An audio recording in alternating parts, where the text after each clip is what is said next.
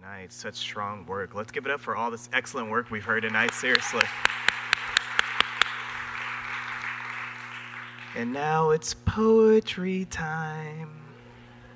But really quickly, I want to thank PEN, PEN, Amanda, everyone who works there, Natalie, all the interns. Because um, without them, I wouldn't meet Jubi. So seriously, thank y'all so much. I appreciate it.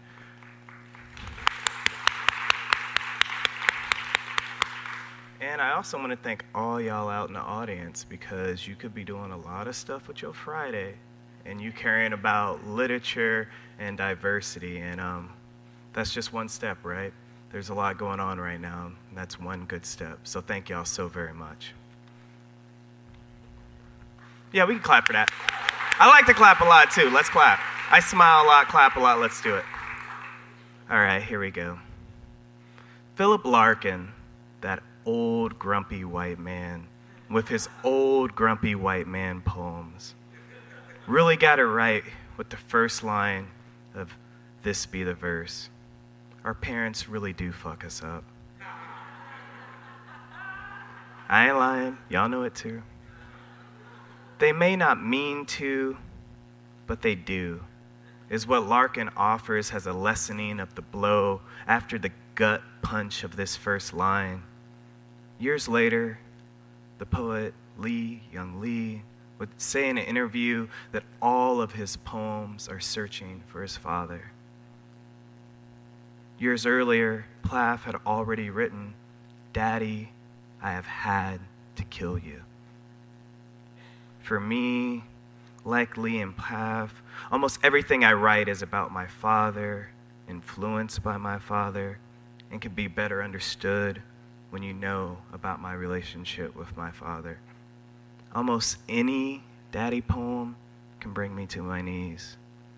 Recently, a good friend of mine did a Southwest reading tour, and we called it the Bad Dads Tour. So, needless to say, when I was blessed and when I was encountered Jubi's work and learned about his complicated, messy relationship with his father, I was totally in. But Jubi's work just isn't about his father. It's about existing in America in a queer black male body. It's about the empowering, challenging, and problematic inheritance of black masculinity. It's about the throb of love and the difficulty of love in a world that doesn't want you to love, that doesn't want you to even exist. It's about how good food can U turn a bad mood and create a family. It's about ice cream. It's about hot combs. It's about natural kinks. It's about how the right bass line and groove can soothe the sores the world instills upon us. It's about how we make the world matter, how we make it scared and sacred, how we make it pray. Jubi, the poet who prays that he will have the grace to greet the patrolman's gaze without Crenshaw in his eyes and catfish on his tongue. That's my mentee, y'all. That's who I'm supposed to teach something. You feel me? I was a little bit afraid too. I was like, uh uh Well, let me be all the way real. Jubi did teach me. Jubi taught me how to write like no one can ever hurt or destroy you. Jubi taught me how to stroll through the world with salvation in my eyes and the enemy below my boot. Make sure y'all look at his boots when he come up here. Jubi taught me that your life is your own and that the things you carry can only bring them bring you down if you don't know how to use them. With his gift of the PEN emerging voices fellowship, Jubi has written so many new, beautiful short stories, personal essays, and poems that will teach the world like he's taught me. Jubi's older than me, but he's not some grumpy old white man with grumpy old white man poems. He's a truth teller whose work is going to continue to grow and resonate as he continues his writing career at the University of Miami, y'all. Let's give him some claps.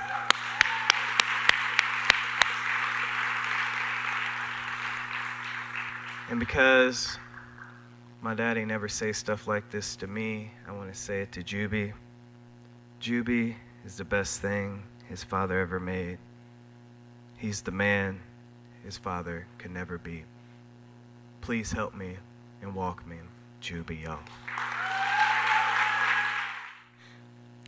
He's okay.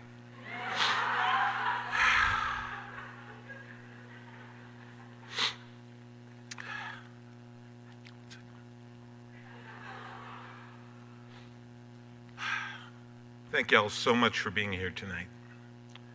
Um, the first poem I'm going to share with you is called Better. I am better than you. Fuck you, I'll say it again. I am better than you. I'm not better than you by accident. I'm not better than you by birth. I had better beaten into me with braided belts and broken broomsticks. I had better bullied into my brain on the ball court. Better is my brand, my belief, and my bond. Better was my best and only childhood buddy. When I was sick, I wasn't babied. If my brow wasn't beaded, if I couldn't taste bile, I better get my butt on that school bus. Better is my born religion. Better is the case for big breakfast and against thick sleep. Better is the only B word I was taught to say. Shoot, my daddy got me so scared of the letter B, I almost didn't write this poem.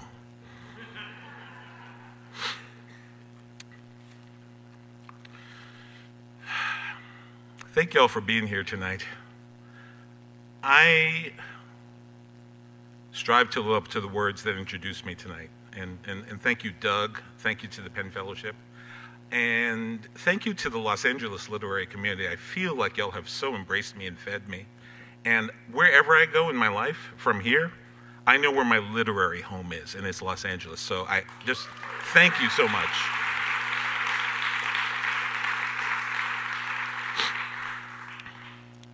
I'm still working through the introduction, so. The next poem I'm going to share with you, and I don't have too many, and they're short, I promise, but the next poem I'm going to share with you comes from a long tradition of list poems. And one of the ways people do list poems is through definitions, as in dictionary definitions. And this one focuses on a word I've had a lot of struggle with, and probably you have had a lot of struggle with. Comply, verb. One, to bend past the moment of fracture. Two, to present one's body for dislocation or displacement. See also diaspora, deportation, dispossession. Three, to tender kisses to concrete with assistance, though unsolicited, which is to say, she was asking for it. See also prostrate, grovel, bootlick, beg. Four, to cede the schema of mouth to orifice. See also hole, gap, slot, slit. Five, to yearn for the shrouding of silence. Six, to mortgage one's voice as speculation in breath. See also muzzle, gag, choke. asphyxiate. Seven, to sever tongue from spine.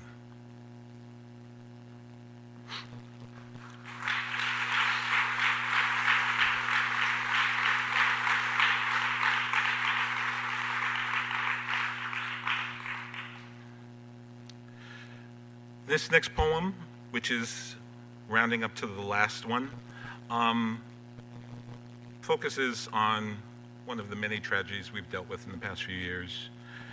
And in this body, I can't help but think about guns. I don't want to, but y'all live in the same world I do, so I think you know why I do.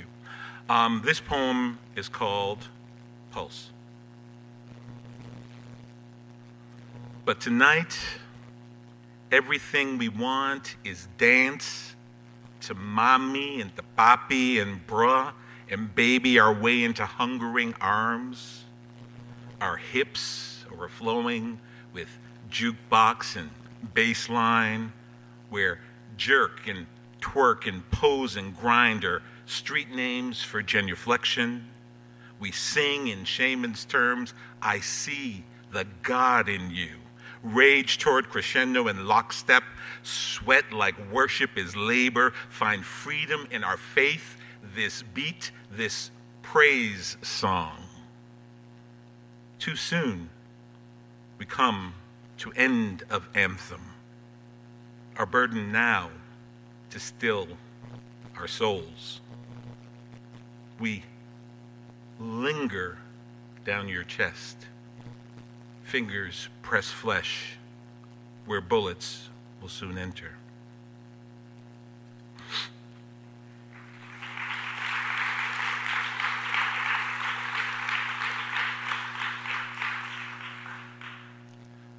I had a lot of stuff to say, but I think I'm going to just read my final poem after I take another minute. We're poets, we're emotional. I'm so sorry. If y'all didn't want emotional, I'm sorry. Um, because um, I'm a poet, and because I am me, I like circles. And so I want to end with the poem I began this fellowship with. This one is called This Is Not a Dear John Letter. I have a confession, America. I will never consider suicide. I love rainbows, sure. But what I really miss is carrot cake and come. I've planned your murder a million times, just a tiny little death, America. I've pitchforked you until you geysered my birthright all over me. Was it good for you too, America? I'm a freak, America, a peeping Tyrone. I fashion a fetish out of outside looking in.